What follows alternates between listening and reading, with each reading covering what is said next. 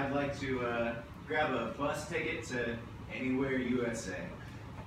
Um, so, um, here at the bus station, you give me a location. Oh, me? I'm, I'm a free spirit. I don't really care where I end up. It's just me and this fridge traveling the USA. Um, so, since you're traveling Peter Pan bus lines, you're Mhm. definitely gonna have to pay an extra charge for that. what? It's just my fridge. You have to pay for a ticket for the fridge. Everybody travels. It's just them and their fridge. It's the only thing I own. So that's great. You know, congratulations for owning a fridge. I'm just gonna say this just because it's just one person to another, but usually when you own a fridge, you you don't take it with you. You leave it in a place like an apartment or a house. What are you talking about? Or It's look. If you're hungry, right? What are you gonna do right now?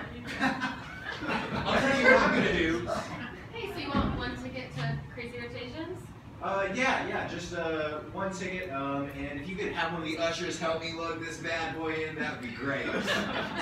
Um, I was gonna say you can't bring a fridge in for the movie theater. what?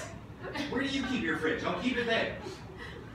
Oh my god, that guy's making out with his fridge. Oh my god, this is so weird! Why Oh is man, this is not good. I just like this really awkward. Yeah. This is just like a Focus on Heath Ledger.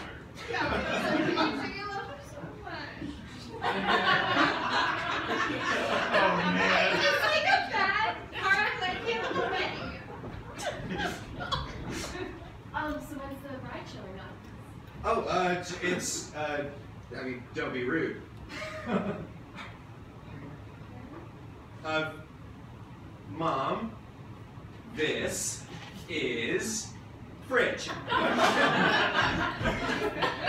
You're leaving me for a fridge? Look, I can't believe it! We've been together for 12 years! It's not that I don't love you. Of course I love you. I learned that there was a deeper love. All right, Senator, uh, you need to know for the uh, campaign who's going to be running the race. Oh, uh, just uh, put on the ticket uh, under my name, uh, refrigerator. Kennedy, refrigerator, 2024. America's first appliance vice president. I just really